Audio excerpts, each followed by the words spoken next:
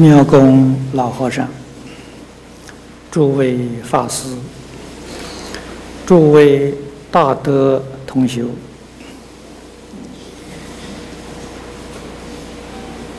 这一次我们研讨。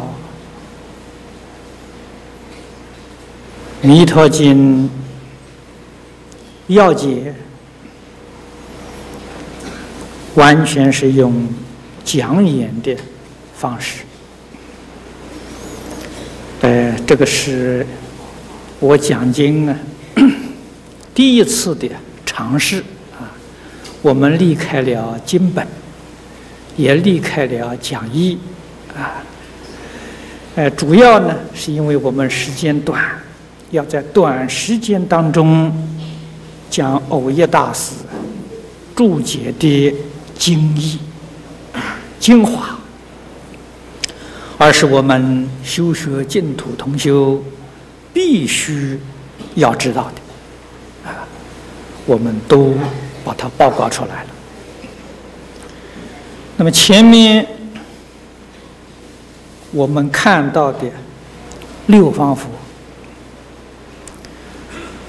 六方佛用表法的方式来观察了，这在一般注解里面呢都还没有，啊，古德注解里头也没有。我们细细观察呢，诸佛的名号。确确实实，它含了很深的意思，啊，决定不是随便提出几尊佛的呃名字，啊，这个不必动啊，我靠前一点就行了啊。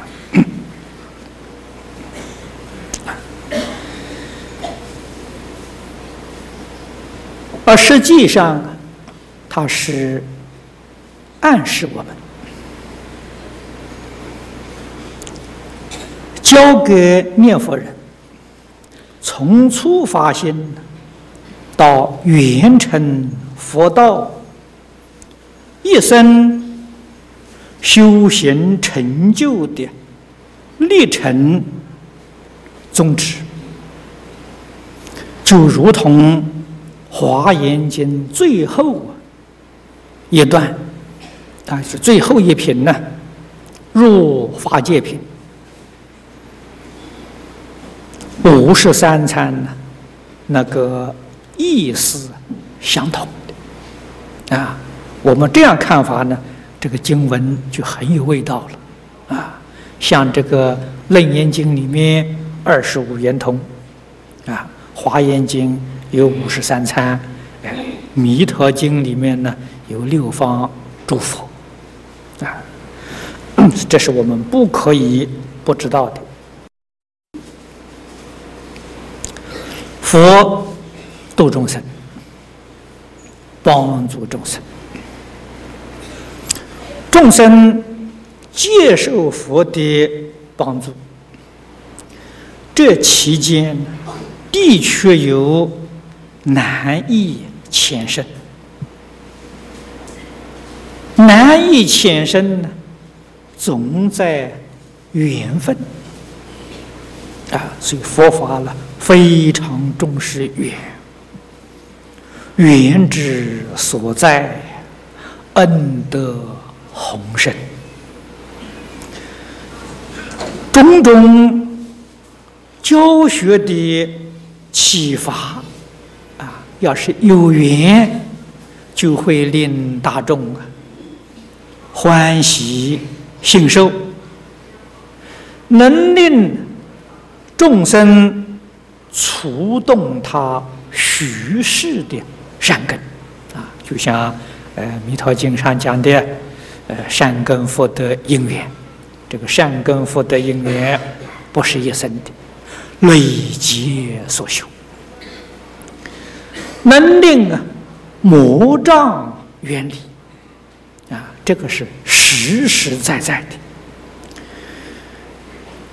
我到每一个地方，都遇到有一些同学来告诉我，啊，他有很多的障碍，啊，听到一些声音，见到一些不干净的东西，遇到很多恐怖的事情，有的时候在念佛当中，有的时候在梦中，啊，梦中就常做噩梦啊，啊，那么这个呢？都是属于长难，这些妖魔鬼怪有没有呢？确确实实有。啊，这个东西，宇宙之间呢，是宇宙之大，无奇不有啊！啊，既然我们肯定有六道的存在，有十法界的存在。那这些妖魔鬼怪的事情当然也存在。妖魔鬼怪要找我们的麻烦，诸位要晓得，那也不是偶然的啊。像这个世间呢，也有一些坏人，啊，他找人的麻烦呢，也与那个人有缘呢。没有缘，无缘无故，他也不会找的呀。啊，所以这个一定要道理，也要晓得。我们无量劫来给一切众生结的缘，有善缘，有恶缘。啊，这个善缘呢，就是好缘呢。那我们无论是呃世法、出世法里面，啊，遇到很多人啊，帮助我们，啊，成就我们。那么我们跟人家结的一些恶缘。这些恶缘的众生呢，他就要来找麻烦，啊，就来啊障碍我们，啊，事出世间事都不例外，啊，都不例外。可是我们真正念佛人，念佛人呢，心地真诚，心地清净，心地慈悲，纵然有恶缘。他也会转心啊，也会呀，把他这个报复的念头啊，他能够啊降服啊，能够啊转移啊，甚至于见到这个修行人呢，他也欢喜赞叹啊，他不敢呃惹麻烦啊，何况真正念佛人这几天呢？我们给诸位也有相当详细的报告，一定得诸佛护念，龙天拥护啊，有护法善神呢保佑，啊，这些魔障啊不能够接近啊，不仅是如此，能够帮助我们，就是禅家所讲的。大彻大悟，明心见性啊！也许呃，同学又觉得奇怪，我们不是参禅，怎么会明心见性、大彻大悟呢？啊，诸位要晓得，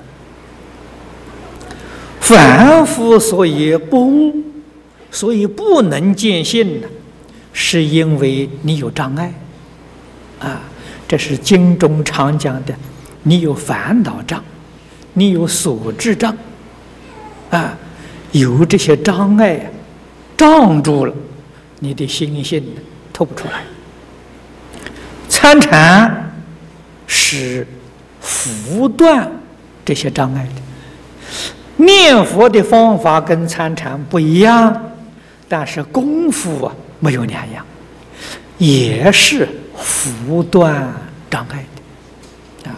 念佛念到事业心不乱，见思烦恼就断了；念到理一心不乱，就分破无明，跟禅宗啊说的见性的境界无二无别啊。所以任何一个法门讲到功夫成就都是一样。这个我们要晓得。诸佛如来原本都是从化身变现出来的。化身是离体，我们现代哲学里面所讲的宇宙本体，宇宙万物的本体。我们佛法里面呢，就叫做化身啊，佛的报身、应身、化身呢，都是从化身变化出来的。那么化身呢，我们的化身跟佛的化身无二无别啊，正是所谓十方三世佛共同也发生，啊。这不能细说，细说要费很长的时间。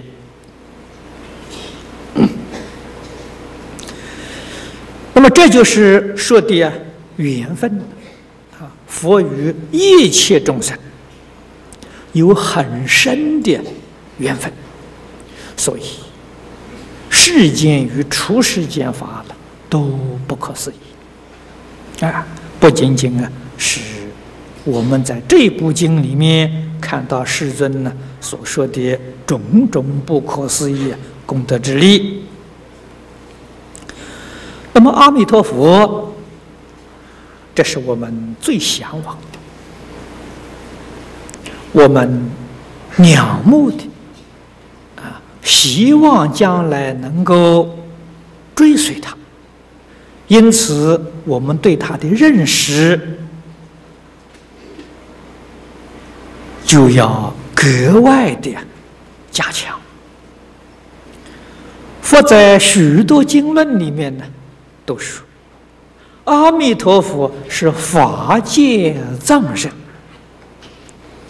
这句话非常重要啊！就像，呃，这是从理上讲啊，从相上说呢，呃，世尊在《无量寿经》上跟我们讲啊，阿弥陀佛。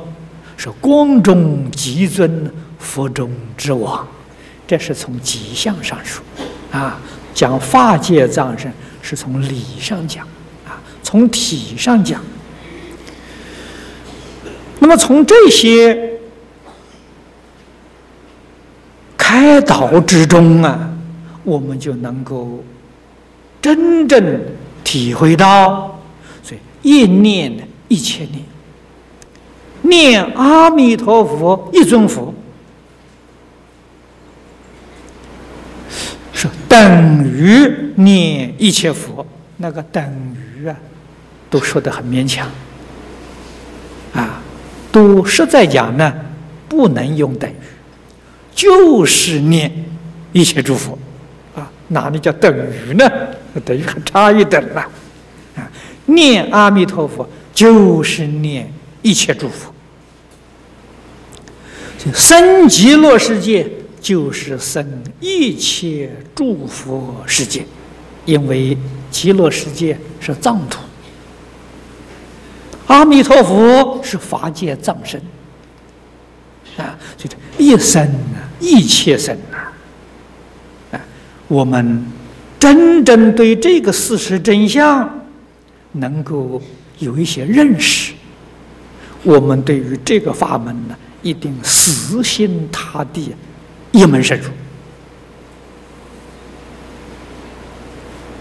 然后这个信愿持经的利益，我们才真正明白啊！如同佛在本经里面劝我们啊，劝信佛说：“闻经受持，闻住佛名。”你就为诸佛之所护念，皆得不退菩提，啊，这都是释迦牟尼佛在经文上跟我们说的，所以我们一定要相信佛说的，要相信诸佛所说。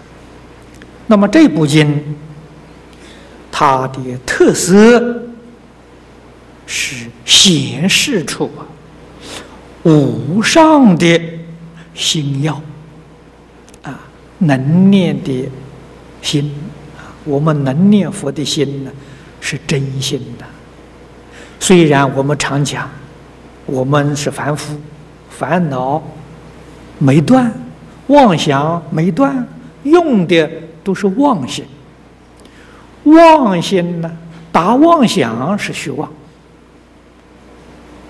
妄心起心动念、分别执着是虚妄，这个妄心念阿弥陀佛可不虚妄啊！这个很不可思议，因为阿弥陀佛是真实的，决定不是虚妄。我们这个妄心攀缘阿弥陀佛了，这个妄心也变成真心了。真妄原本不二吧？啊，这是怎样转妄心成真心一个最好的方法。经中所讲，祝福名字，实际上就是专指弥陀名号。弥陀名号就是祝福名字啊，这就是跟前面所说的阿弥陀佛是法界藏身的意思是一样的。所以这部经也为我们圆满显示究竟的德能智究竟真般若德。断究竟呢？正解脱德，就用信愿持名这个方法，就能够把智德断德修得圆满。断是断烦恼啊，断见思烦恼，断尘沙烦恼，断无明烦恼啊。你能够烦恼断一分，本性里面智慧显露。一分啊，所以这个、这个、这个，呃，西方三圣呢，阿弥陀佛旁边是观音世智，观音表慈悲，世智表智慧，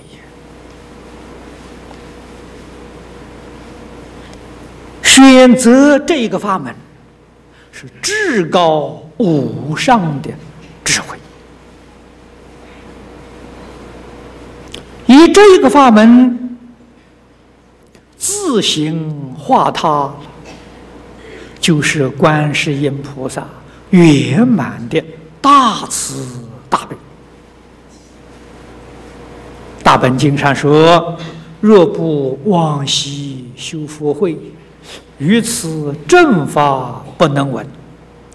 一曾庆奉诸如来。”故得因缘闻此意，啊，《无量寿经》幕后这一首偈子说得好啊！我们有缘，我们有福啊！过去生中累劫所修的福慧，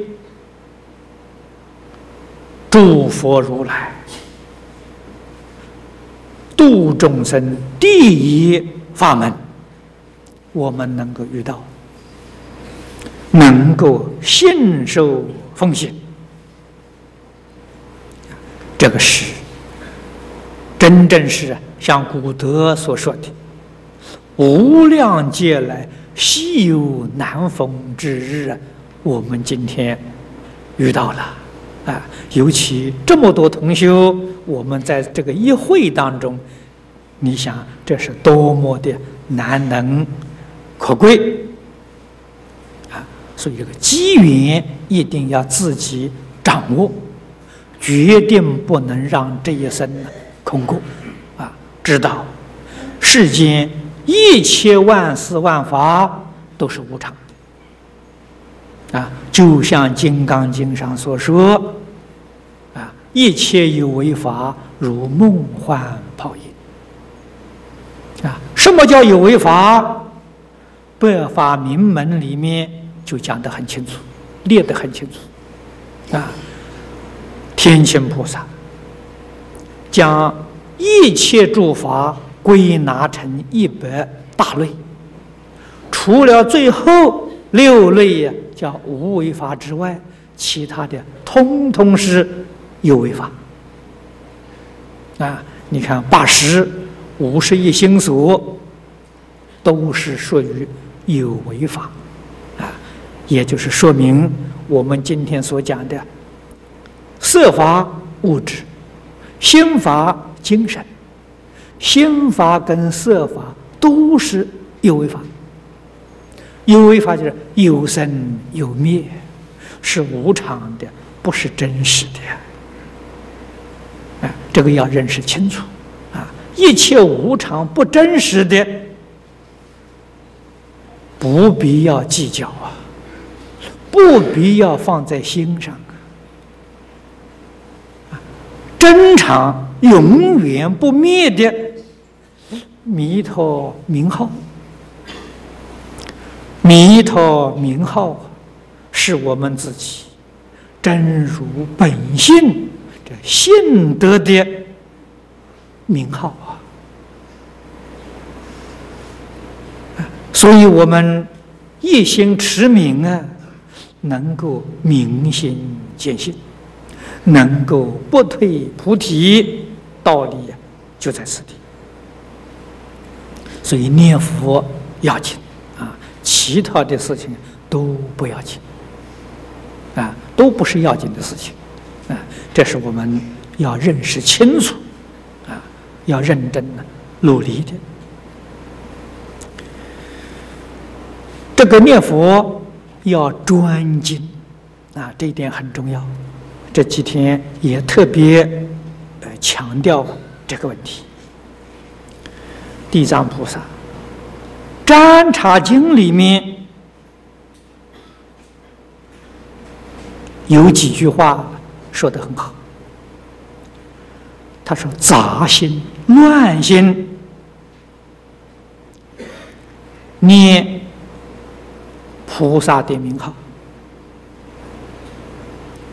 这个呢，不能称之为智慧啊，不能称之为智慧。为什么呢？因为呀，你虽然念佛菩萨名号。”心里头啊，没有决定性，没有真正的性解，有没有好处呢？好处是有，啊，不太大的，能够得世间的福报，啊，不能得广大的利益。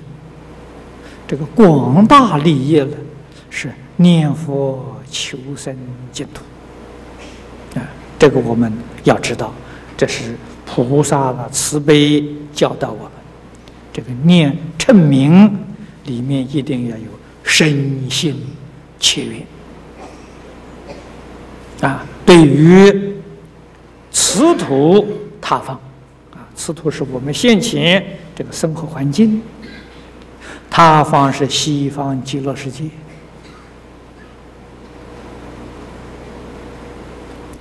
解的越深越好，为什么呢？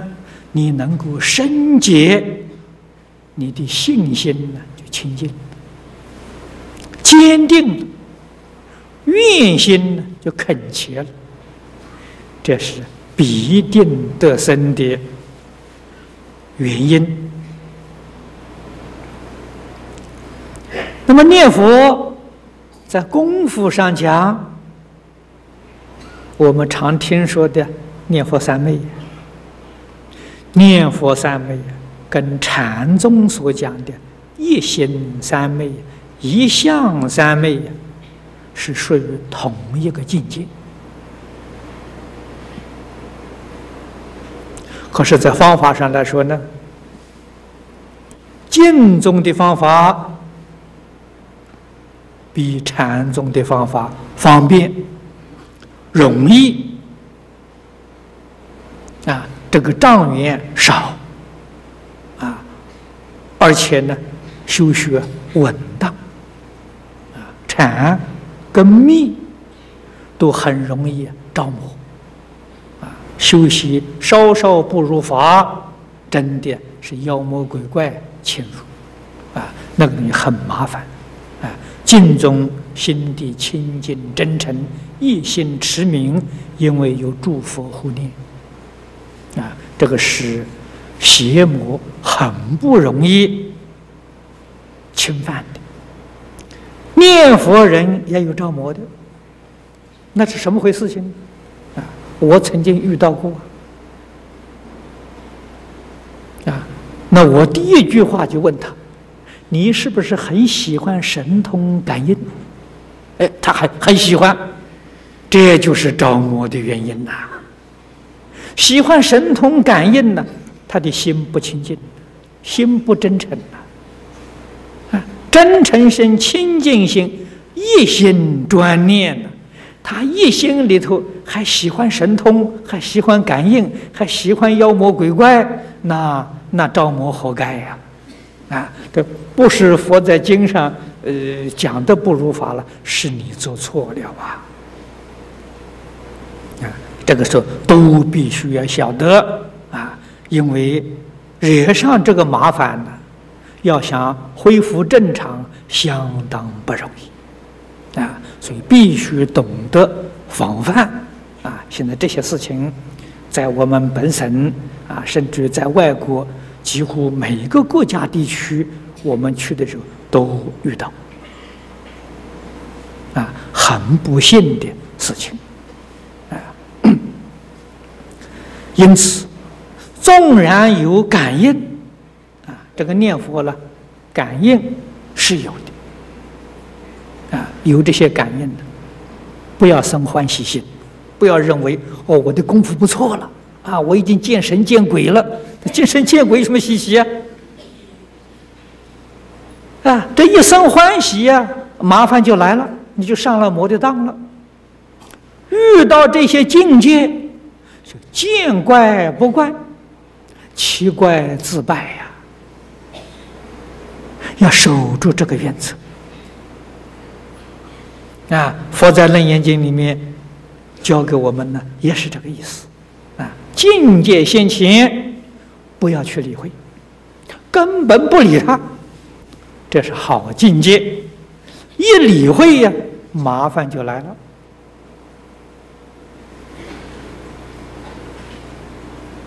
啊，所以这是在我们用功啊，呃，境界是一定会有的，也不要告诉人。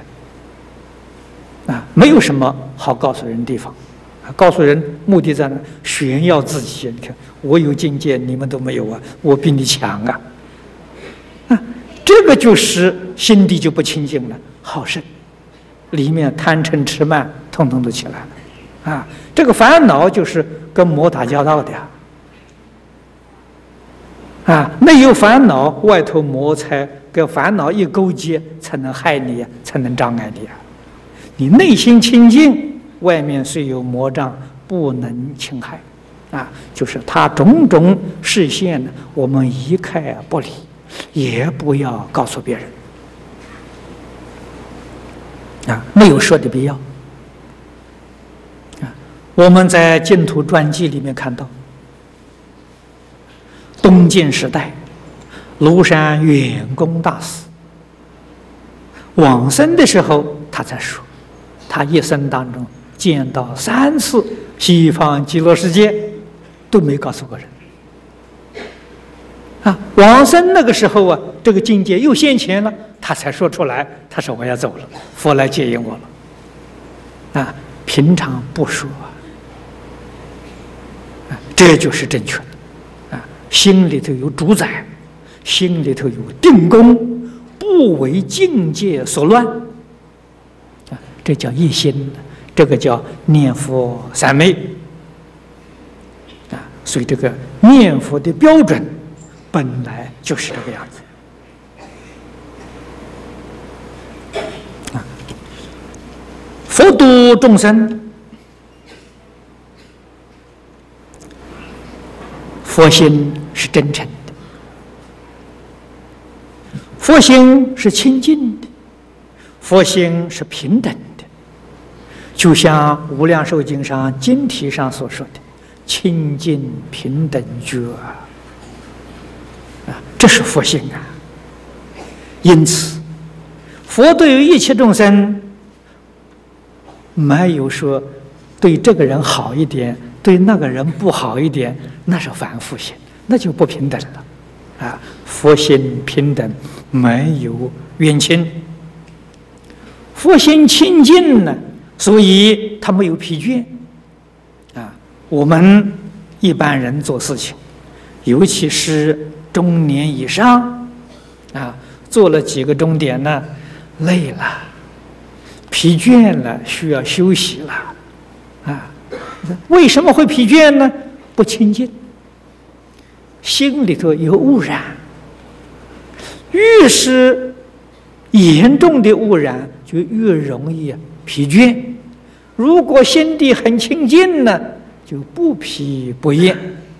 我们读普贤行愿品，普贤菩萨，你看愿愿都是无有疲厌。他为什么无有疲厌？他心境平等，清净，清净是坐而无坐，无坐而坐，他就不疲倦。啊，我们总感我做了好多事情了，做了好多个小时了，应该疲倦了，他就疲倦了。佛菩萨呢，坐而无坐，没坐，啊，一天做到晚没做，没事，他怎么会疲倦？他就不会疲倦。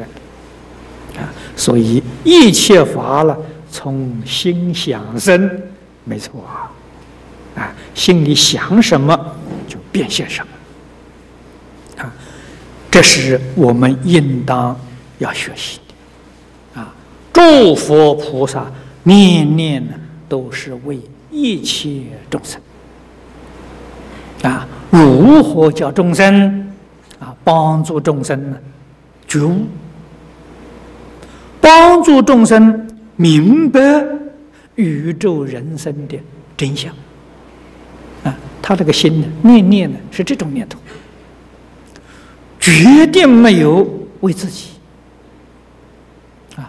凡夫之所以成为凡夫，成不了佛，凡夫起心动念都为自己，这个就糟糕了。六道轮回就是这么来的，只要念念还想自己，超越轮回就难了啊！啊，我们念佛往生净土啊！叫横超法门呐，啊！诸位这几天听了一定也很欢喜呀。我们可以横超啊，啊，可以这一生的解决问题呀。可是你要记住，你的心量啊，要跟阿弥陀佛一样。如果念念都还为自己，恐怕到临命终时超不了。啊，那个时候不要怪经不灵，啊，法师讲错了。法师没讲错，经也很灵，你自己错会了意思，啊，心量一定要大，啊，心量大呢，把这个轮回的界限化掉了，啊，没有了，化解掉，啊，所以这个力量啊不可思议，啊，六道轮回就像城墙一样啊，啊，这个这个心量能够把它融化，啊，把这个界限突破没有了。啊所以这个心啊，一定要大，念念为众生，不可以为自己。这个书本啊，经本，你看这个后头印的呢，赠送品，免费结缘，这个心量就大了。如果后头印了版权所有，翻印必究，完了，你这个一生呢？把这个佛法印到遍满地球，你都不能往生，你都超越不了轮回。为什么呢？你心量太小了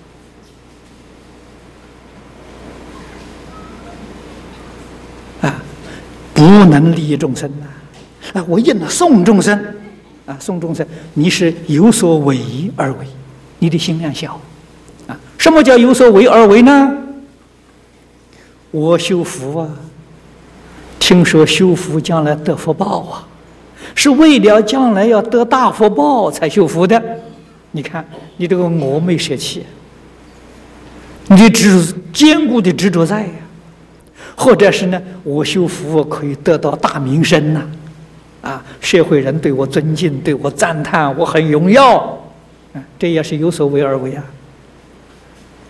啊，或者比这个更好好一点的一个念头，哎，我做这个功德，将来我可以往生啊，啊，我可以成佛，是为来生着想的，啊，这个想法呢，比前面两个好一点，如果说是修其他法门，出不了三界，修这个法门呢，还算不错，啊，有所为而为呀，也能往生，是哪里？凡圣同居土，品位不高啊！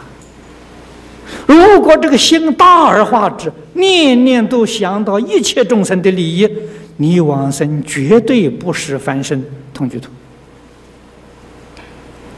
你的心量大，大心就是菩提心呐，大心就是菩萨了。啊，那个品位就高了，品位高，成佛的时间缩短了。啊，进步就快了，这是不可以不知道的，啊，所以我们往往看到许许多多印刷品当中看到这个心量很小，啊，我这个讲经啊也常常说，也许诸位从录音带上听到，啊，人家送我书，我第一个眼看什么东西？看他版权页。啊我不看别的，如果看到版权页上是是是是是版权所有这本书，我不看了。啊，我为什么不看呢？我不浪费时间，因为它的心量很小，他写的再好，也出不了那个范围，他心量小啊。啊，那个东西不值得看了，不浪费我的时间，啊。所以我看版权页的时候，后面是欢迎翻印啊，没有版权，这个我很喜欢看，啊，我一定会从头把它看完，啊，后头印上版权所有，我不会看它的。这是说明呢，我们学佛了，应该念念要学佛菩萨。啊，学菩萨了，啊，学佛菩萨，啊，以这个大慈悲心，大慈就是无条件。的，就同体大悲，无缘大慈，无缘没有条件去帮助人，啊，去利益众生。流通分里面第二段呢是劝愿。啊，前面六方佛呢是劝信，啊，这个地方是劝愿，接着是劝愿。经文上说，舍利弗，若有众生已发愿，一直到闻佛所说，作礼而去，就到本经的结束，啊，这个里面呢就劝愿。那么经里头跟我们说的很清楚，已经发愿的已经往生了。现在发愿的，这今生发愿的，今生呢也得生了。当发愿是讲将来，啊，当然释迦牟尼佛当时说这个经的时候，已发愿的。佛没有说这个经之前，十方诸佛早就讲了。往生西方世界的人不晓得有多少了，啊！弥陀成佛到现在已经十劫了嘛。经发愿的是听到释迦牟尼佛讲这个经，发愿往生，啊，都曾经往生。当发愿呢，是讲释迦牟尼佛以后，包括我们现在的人，我们现在有缘。闻到弥陀名号，有缘读到弥陀的经典，我们能信能愿，等于佛在此地给我们受记。当生了，你必定得生所以我对于这个修净土啊，往生西方极乐世界，我非常肯定，啊，决定得生，啊，所以有很多同学来问我，他说法师，你是不是有些感应了？啊，你是不是有神通了？你怎么晓得你会往生啊？你怎么说的那么肯定啊？那我就老实告诉他，因为我已经拿到西方极乐世界往生的保证书啊。那当然往生了。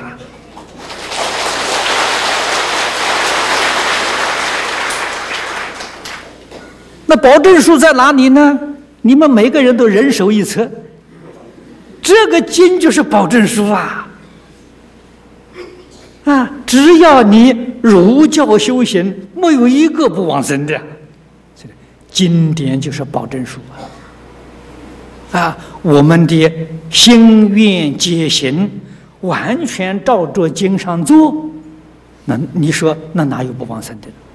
啊，这是保证书，啊，非常可靠的保证书，啊，我们大家都拿到了。那么这部经上，世尊三次劝愿啊，就在我们这个经本上，在八十面第一行，众生闻者应当发愿，愿生彼国。这第一次。第二次在九十四面倒数第二行。若有众生闻是说者，应当发愿生彼国土。啊，第三次在一百一十面，啊，一百一十一面，倒数第二行，若有众生应当发愿生彼国土，三次劝愿呐，劝我们往生呐。同时在一百零二面幕后一行，我们又看到了一句。汝等皆当信是我语及诸佛所说。这一句话是劝信呐。你看，一次劝信三次劝愿，佛真是苦口婆心呐。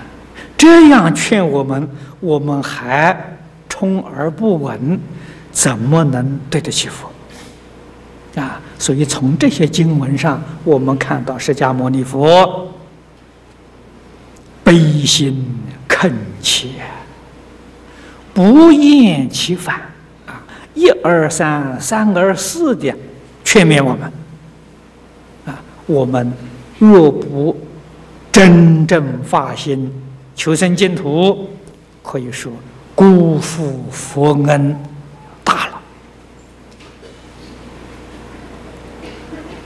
愿在总原则上。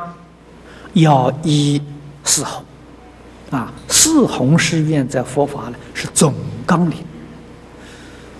阿弥陀佛四十八愿归纳起来也不能超过四弘誓愿，啊，所以四弘誓愿呢是每一个佛弟子经常啊要念的，啊，这个念呢念了要发。他不发了，那个念了没用处，啊，有口无心呢，没有，一定要念呐，啊，要发了，啊，要真正的发这个愿，啊，这个愿呢，就是经上讲的无上菩提心，啊，菩提是觉悟，真正觉悟，啊，彻底的觉悟了。那个觉悟人呢，那个心理啊，就是这个样子的。第一，众生无边誓愿度，烦恼无尽誓愿断。这在净宗法门里面讲，这两愿是愿意离开娑婆世界。法门无量誓愿学，佛道无上誓愿成的，这两愿是心求极乐啊！欧一大师在注解里头特别强调这两个字，一个是厌，一个是心，心是欢喜。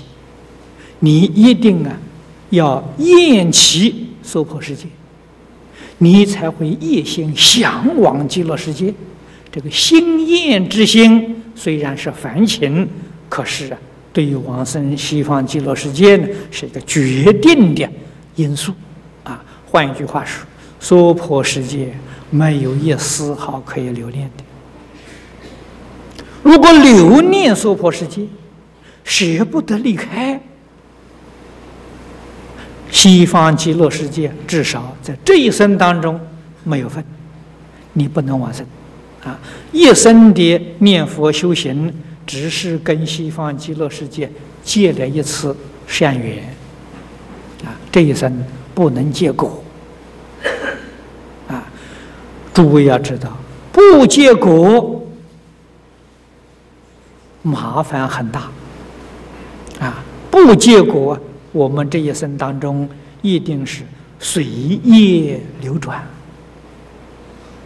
强者先迁就又要去搞六道轮回啊！这一搞六道轮回，到哪一生哪一世再遇到这个法门，很不容易！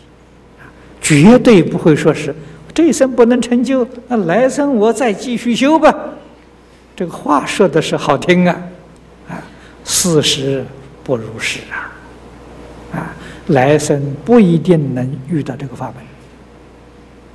门，啊，来生呢，你也不一定能得人生，啊，不一定能遇佛法，所以得人生遇佛法好难呐，这是佛在经上讲的，讲的很多，真正不容易啊。所以，这是这这个机缘，我们晓得难得，我们才真正的肯把这个机缘呢牢牢的抓住。